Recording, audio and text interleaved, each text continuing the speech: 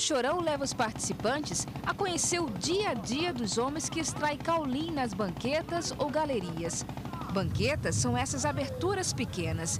Já as galerias são essas fendas em plena caatinga.